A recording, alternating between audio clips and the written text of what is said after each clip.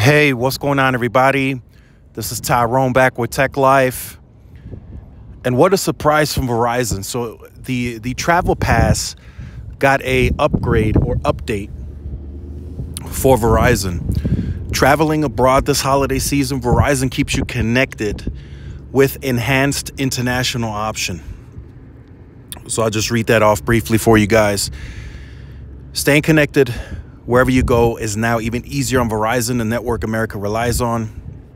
And the monthly international travel plan now gets you four times the amount of high speed data when compared to the previous plan. That's two gigs or two gigabytes per day at 5G speeds, followed by unlimited 3G data at one megabit per second. So, very interesting that they did this. I still think uh, T Mobile has the better option at five gigs. But again, to, to each their own, whichever you like. I, I, I think this is good from a competitive standpoint that Verizon is on their toes. They're always looking at making enhancements and updating. And in this case, they updated the travel plan.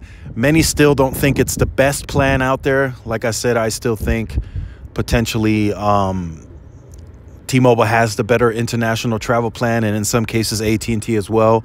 But this is good to see that Verizon did enhance it. Maybe they enhance it some more in the future. We will see. But let me know what you think about that in the comment section down below. Make sure you guys like, share, subscribe to the channel. Follow my social media outlets. This is Tyrone with Tech Life. I will see y'all in the next one. Peace.